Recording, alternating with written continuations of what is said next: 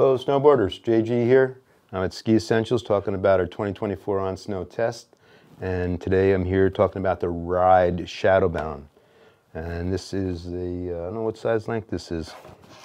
Um, anyway, we had uh, a couple of our testers rode this board. It's a new shape. Um, uh, Matt gave it an overall rating of a 9, and Andy rode it and gave it an uh, overall rating of a 7 in this 157 length.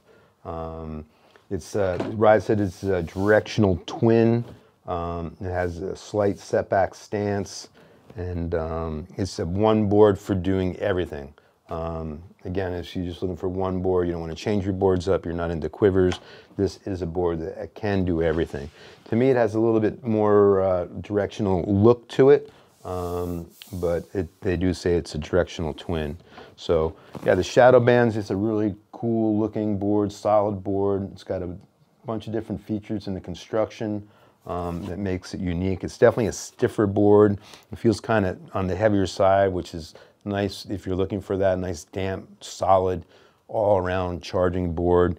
Uh, for more of the intermediate to advanced rider, um, it's definitely not a, a first-timer board or you know a beginner board or whatever you know uh, that you know that style of riding or you know level of riding I should say, not a style of riding.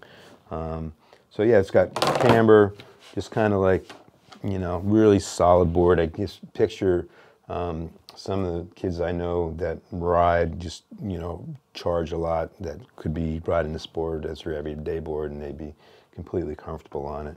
So take a look, the Ride Shadowban, and uh, yeah, this one might be for you.